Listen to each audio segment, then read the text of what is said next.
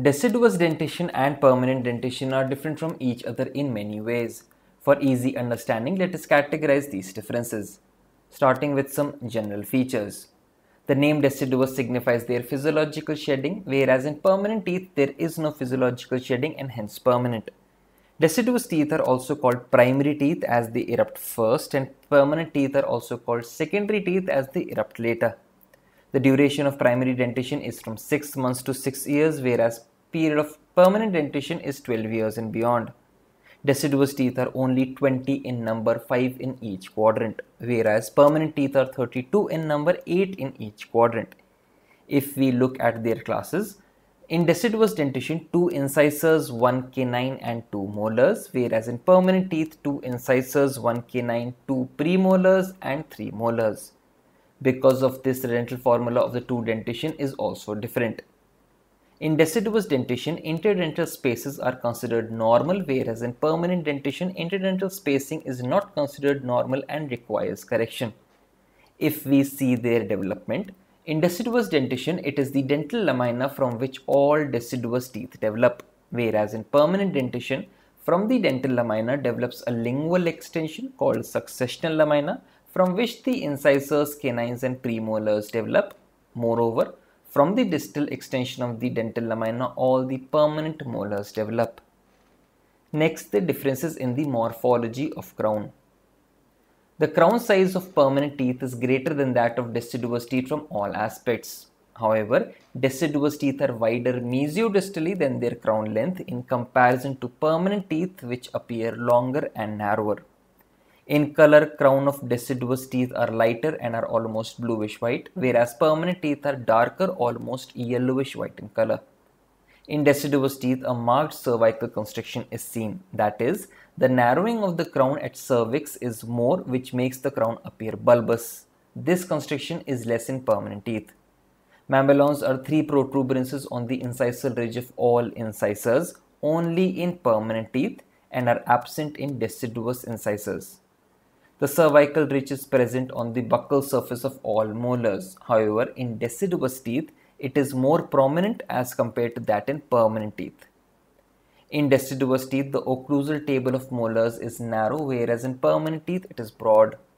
In deciduous molars, the number of supplemental grooves are more in comparison to that in permanent molars. And in deciduous dentition, the contact areas are broader and more gingivally placed than that in permanent teeth. Coming to the differences in morphology of root. In deciduous teeth, the roots are shorter than that in permanent teeth. However, in proportion to their crown length, the roots of deciduous teeth appears longer than that of the ratio seen in permanent teeth. The roots of deciduous teeth are slender whereas in permanent teeth they are broad. The roots in deciduous teeth have shorter trunks than that in roots of the permanent teeth. Among multi-rooted teeth, the roots in deciduous teeth show more flaring than that in permanent teeth, such that if we draw lines tangential to the crown surfaces, the roots do not lie within the confines of the crown. However, in permanent teeth, the roots lie within the confines of the crown. Now let us see the differences in enamel. In deciduous teeth, enamel is thin as compared to that of the permanent teeth. In deciduous teeth, in the cervical third, the enamel rods running from dentino-enamel junction to the surface are oriented in horizontal direction, whereas in permanent teeth they run in an apical direction. The incremental lines of enamel or the striae of Retzius are lesser in number in deciduous teeth than in permanent teeth.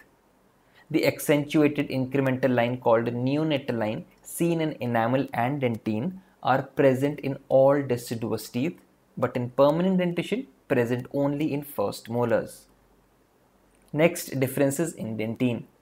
Just like enamel in deciduous teeth, dentine is also thinner than that in permanent teeth. In deciduous teeth, the course of dentinal tubules is less regular than the regular course that in permanent teeth. However, the hypocalcified areas called interglobular dentine are present in permanent teeth but absent in deciduous teeth. Next differences in pulp. Just like enamel and dentine, in deciduous teeth, the pulp chamber is smaller than that in permanent teeth. However, if seen in proportion to the crown size, In deciduous teeth, the size of the pulp chamber is larger than that in permanent teeth. In deciduous teeth, the pulp chamber outline follows the dentino-enamel junction more closely than in permanent teeth. In deciduous teeth, pulp horns are higher as compared to the low placed horns in permanent teeth. In deciduous teeth, the root canals are ribbon-like narrow as compared to the well-defined broad canals in permanent teeth. In deciduous teeth, the pulp chamber floor has numerous accessory canals, whereas they are minimal in permanent teeth. In deciduous teeth, the apical foramen are wide, whereas in permanent teeth, they are constricted and small.